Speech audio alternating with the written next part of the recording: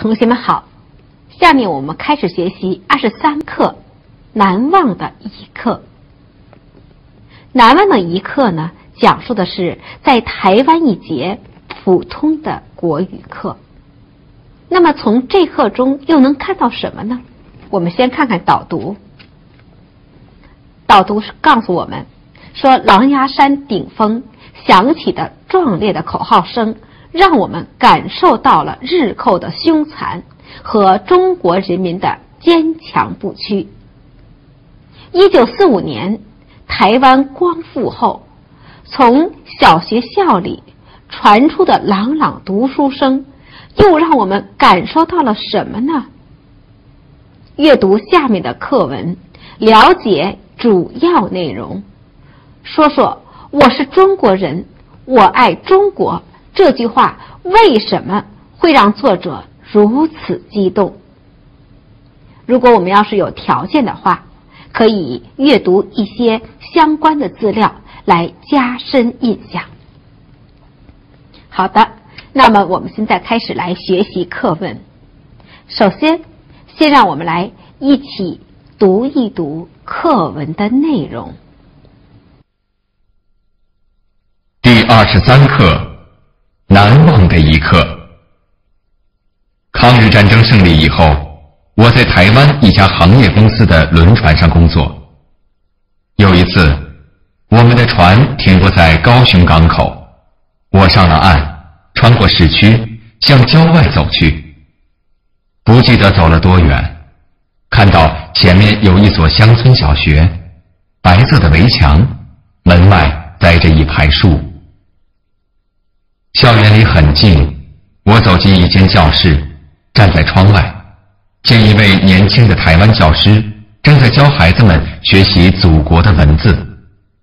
他用粉笔在黑板上一笔一画的写着：“我是中国人，我爱中国。”他写得很认真，也很吃力。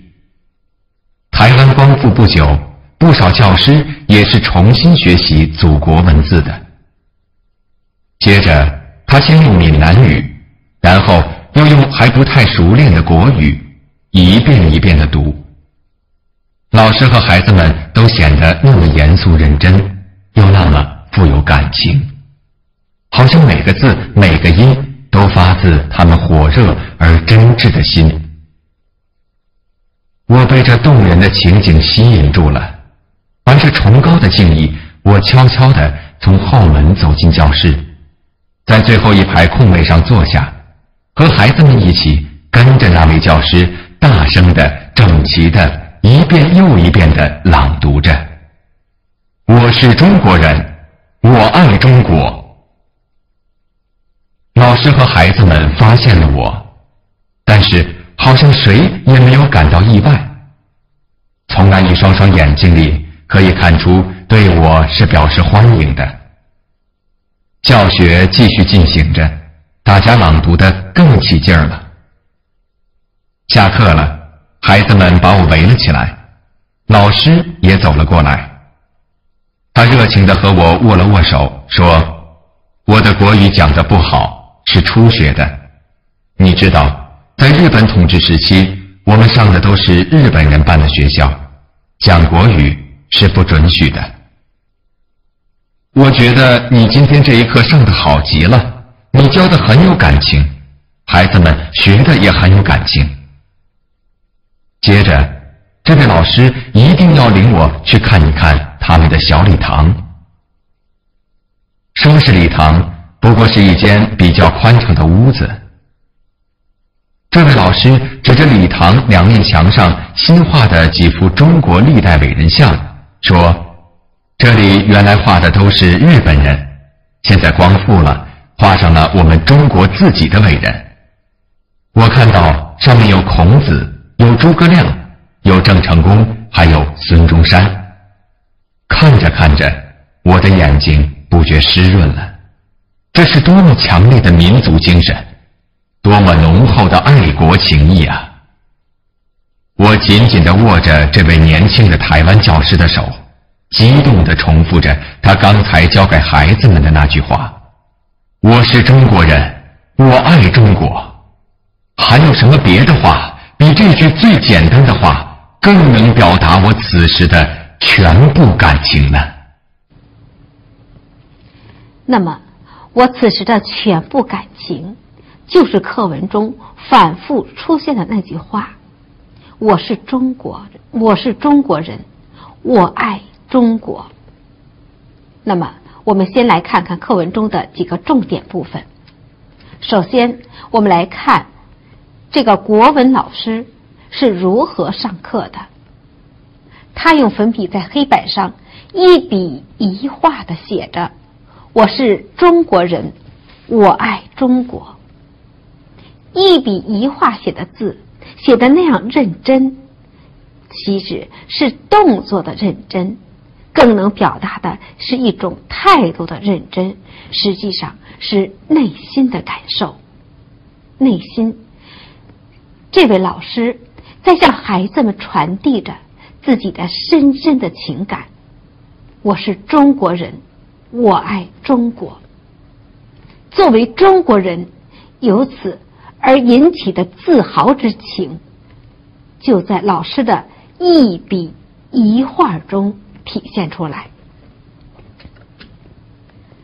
老师和孩子们在读这句话的时候，都显得那么严肃认真，又那么富有感情。严肃认真，是因为对这样严肃的话题，老师和孩子们饱含着深情，丰富的情感。正是这种深情的具体体现。在读这些词的时候，在读这个句子的时候，我们感到呢，好像每个字、每个音都发自他们火热而真挚的心。我们可以想象，此时老师和孩子的内心，作为。中国人的这种民族的自尊心和自豪感是如此的强烈，老师和学生的这种全全的爱国心、深深的爱国情，就是在他们的发音中，在他们的朗读中体现出来。那么，他们火热而真挚的心，正是他们的爱国心。爱国情。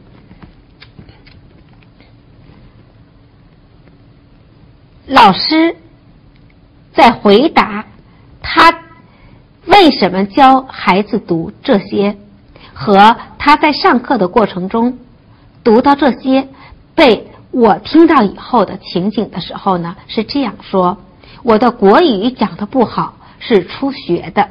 你知道，在日本统治时期。我们上的都是日本人办的学校，讲国语是不准许的。这实际上正是为什么师生作为中国人读到这样神圣的语言而表达的由衷的忠诚和热诚。我紧紧的。握着这位年轻的台湾教师的手，激动着重复着他刚才教给孩子的那句话。我为什么激动的重复的这些话？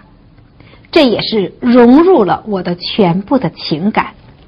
我的情感不仅有作为中国人的自豪，可能也联想到了作为亡国奴的痛苦，以及。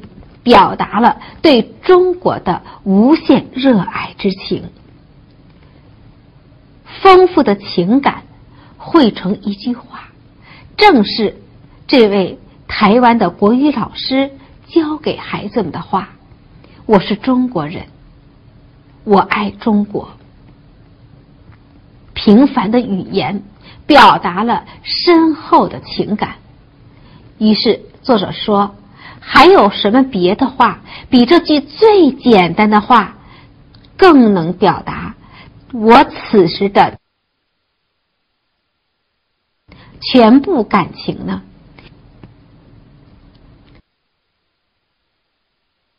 用这句话进行了涵盖：我是中国人，我爱中国。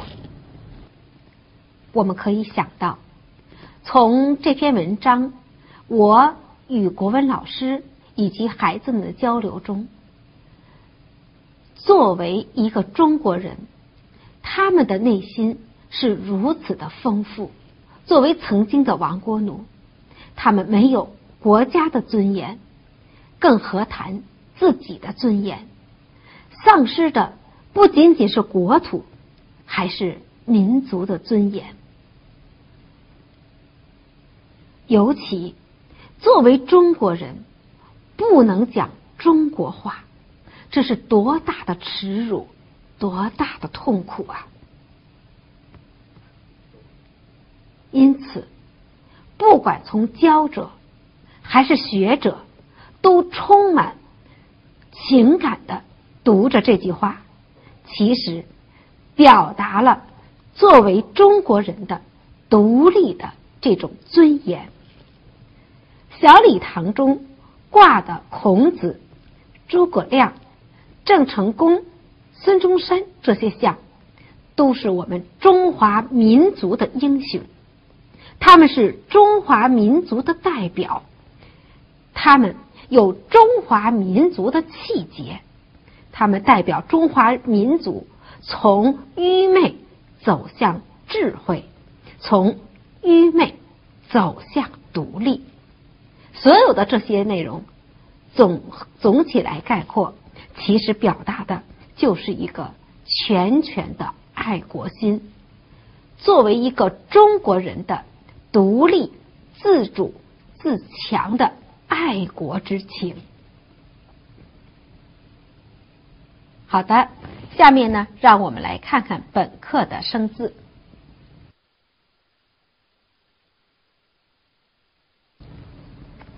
闽，门字旁，门字框底下里面一个虫。